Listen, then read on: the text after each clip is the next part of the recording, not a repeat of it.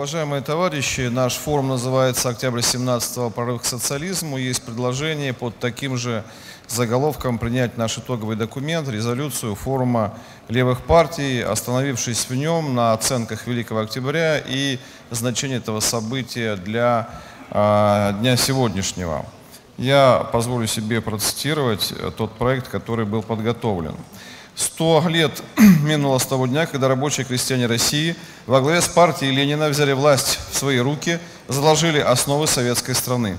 Эту вековую годовщину отмечают все прогрессивные силы Земли.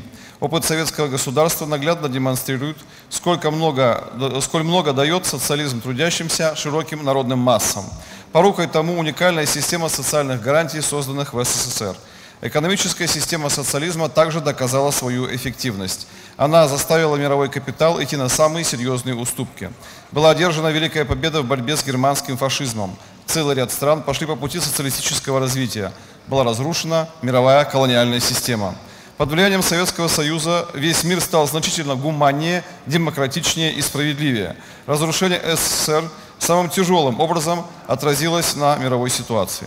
Подчеркивая всемирное историческое значение Великой Октябрьской социалистической революции, мы воздаем должное памяти всех поколений борцов за социальную справедливость и социализм.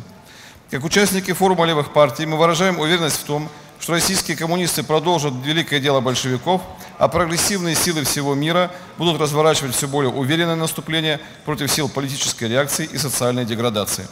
Капитализм погружает мир во все более острый социально-экономический кризис – Жизненный уровень миллионов жителей планеты снижается. Капитал продолжает наступление на права трудящихся. Агрессивные действия империалистических сил являются источником острой напряженности в разных регионах мира. США и их союзники вмешиваются во внутреннюю э, политику разных государств мира.